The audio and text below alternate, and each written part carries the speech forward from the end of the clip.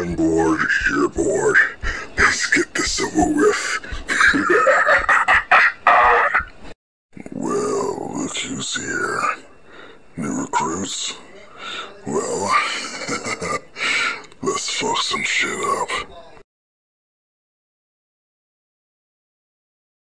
Yeah, sorry, kid. I don't see you being a hero with that kind of quirk. Uh, what?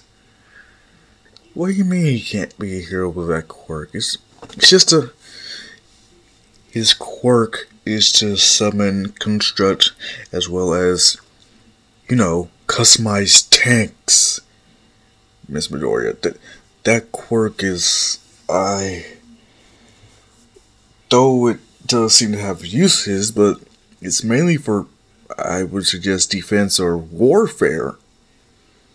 I don't really see much of a use for it when it comes to actual hero work. Uh, but I'm sorry to say this, but your quirk I don't see it being used for hero purposes.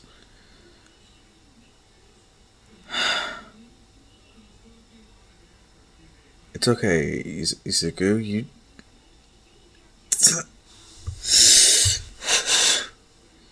All I want to do is be a hero, but I can't even do that. I hate this quirk. Wait, don't say that. It's not the quirk that makes the hero, it's the hero that makes the quirk.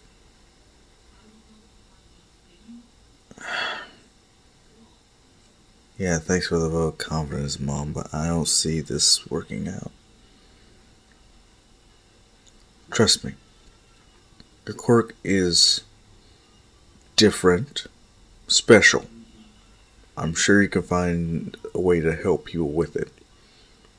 Right now, I suggest you would train it.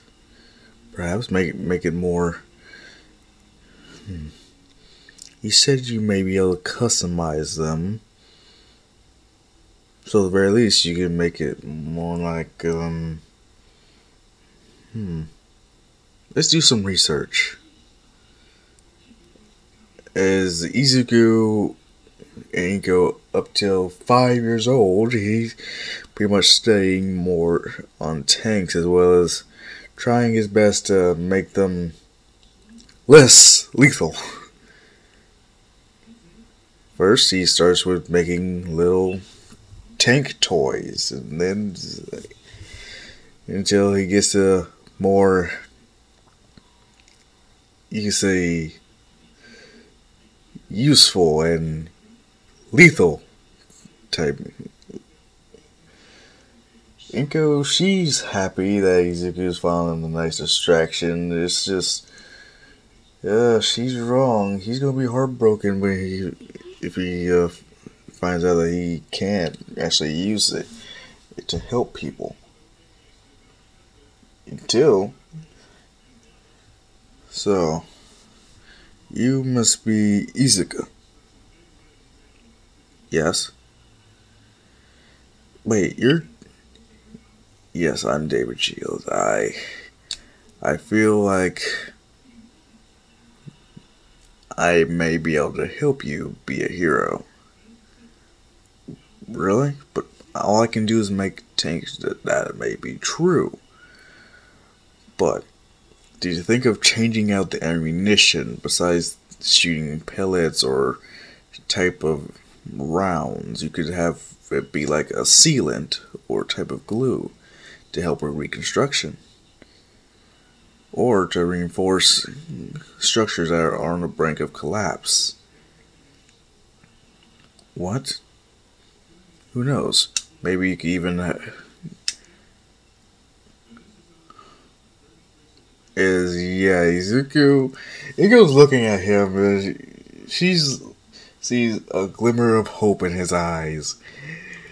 Him realizing, like, I never really thought of it like that. I only saw them much more as weapons. No, no, no, no. think of a think of a knife. People would consider those weapons, right? But they're not. They're tools. It just depends on who's handling it. It could be a wedge, uh, a carving tool, uh, etc. Etc.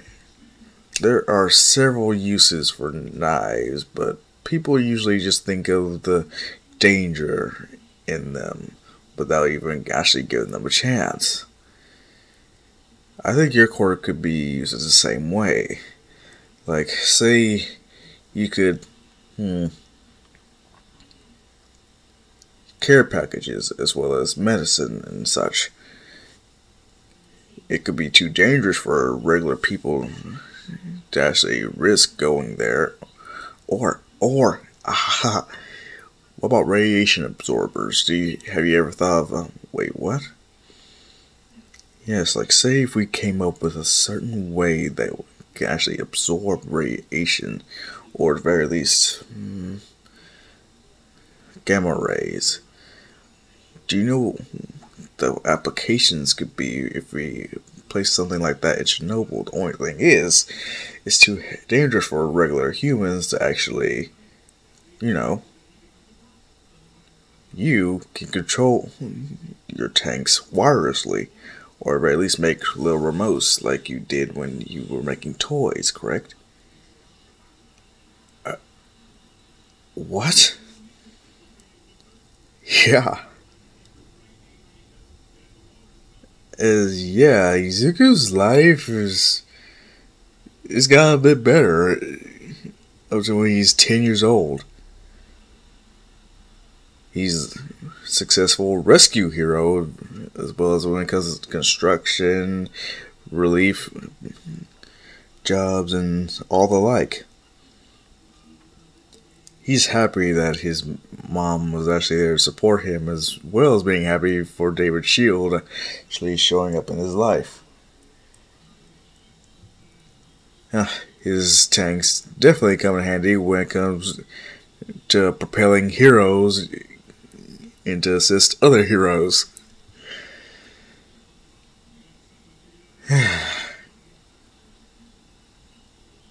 hey, Mom. Thank you for not giving up on me.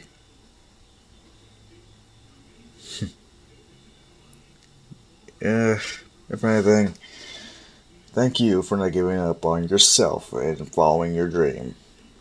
Though you may not be able to become the number one hero, I think the fact that people do appreciate your efforts make it just as much, you know, worth it. Yeah. yeah, whoever thought I'd be a, one of the top ranking heroes at the age of 10?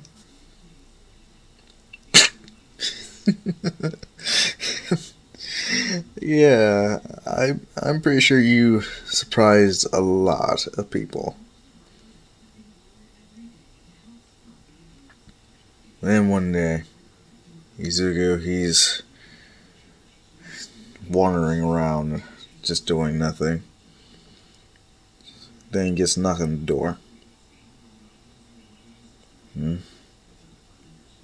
Yeah.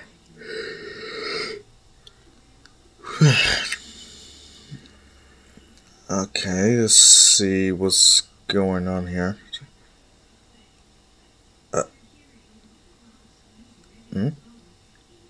What's this? All that's left is a package. Okay, that's weird, but I don't remember ordering anything. Him just taking it into his room and seeing a key. Hmm. It has a thing of instructions too.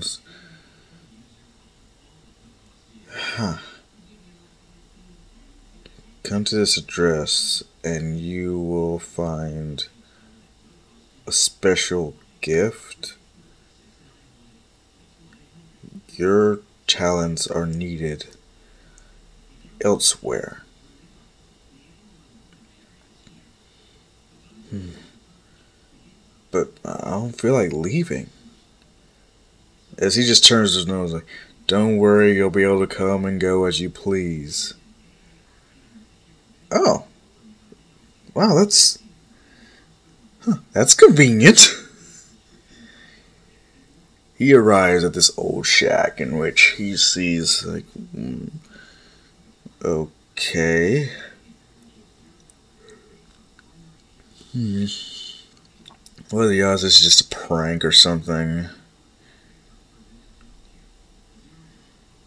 Hmm.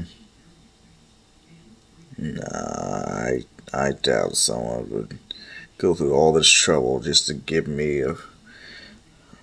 Huh. Him just using the key, it doesn't fit. So he just. It's unlocked. As soon as he goes into. He sees that there's another door there he'll get a closer look, seeing that the keyhole seems. Huh. So is this what you go to? Okay, this is. Never seen a door like this before.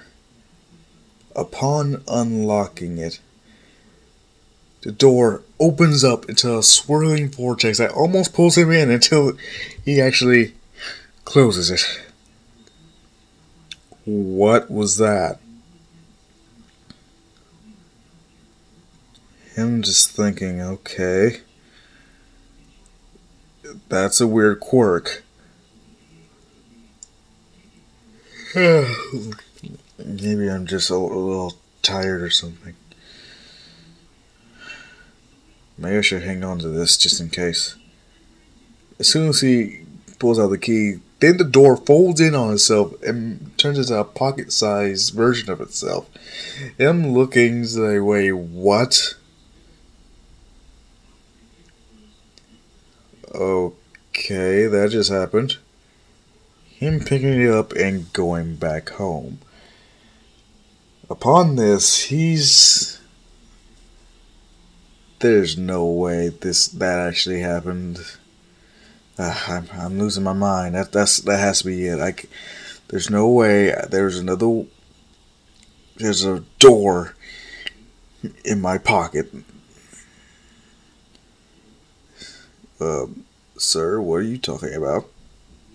Uh, oh, nothing. Uh, you you can go now. I'm. I can walk the rest of the way. Are you certain? And as soon as he does uh, get back home, he's. Okay. Wow, reach into my pocket. I am not to pull out a pocket sized door. He keeps telling himself that. He keeps imagining it. He's like, no, this is real. This is to happen. But then he's. It's real! I can't believe this is actually real. Yeah. This key would. What kind of quirk could do something like this? Him just tossing the little door and it unfolding. then the key just starts glowing just saying, come on, you know you want to see what's on the other side.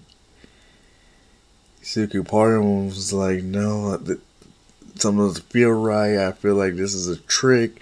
Someone must be trying to. Oh, but what if it might be something amazing and I'm just being a coward? And then he just throws caution to the wind, unlocks the door again, and watches as this whole landscape just appears. This mountainous forest area.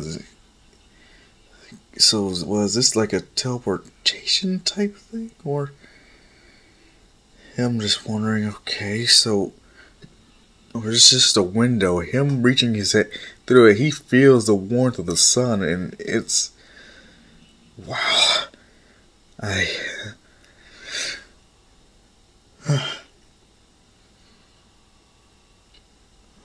That's amazing. Him just closing the door and having it fold back up, and he just puts it somewhere safe.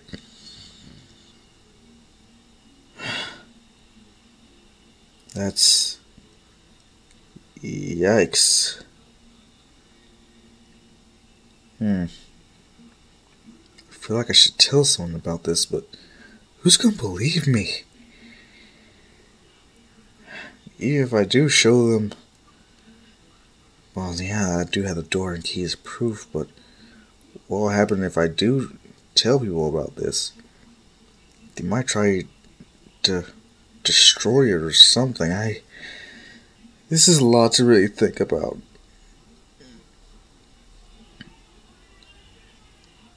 And yeah, Izuku has a lot of worrisome thoughts going through his head. Should he tell Inko? Should he tell anyone at all about this?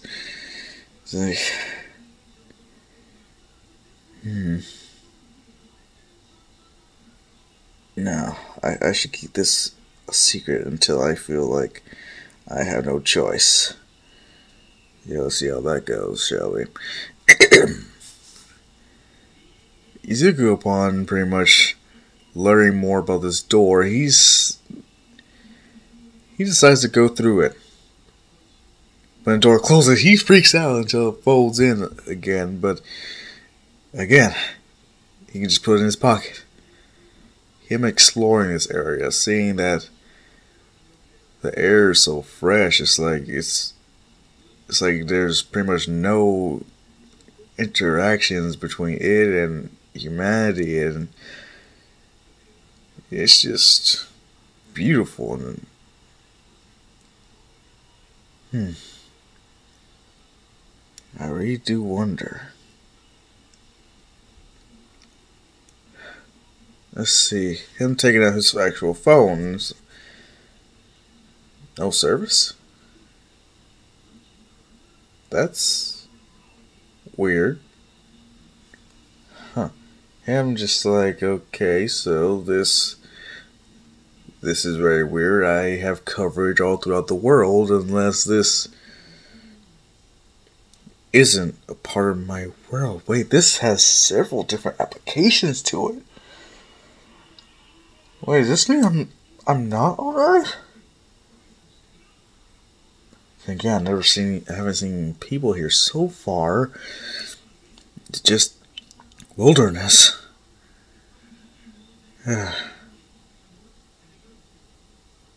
but uh, this this is scary,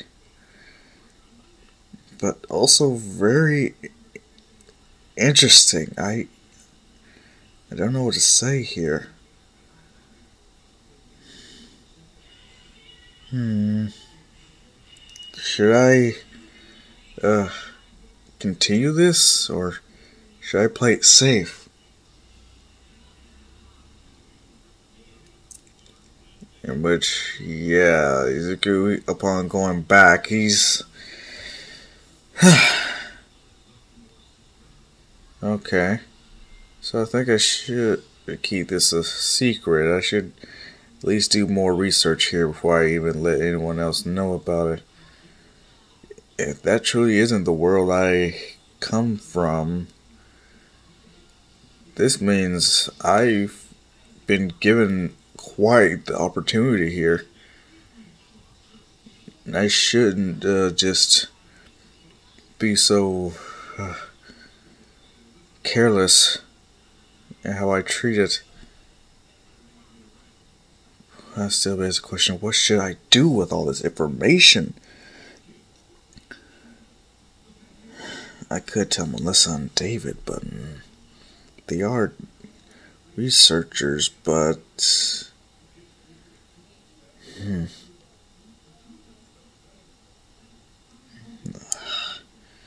there's too there's too many variables here. I need I need to wait. This is a lot to think about.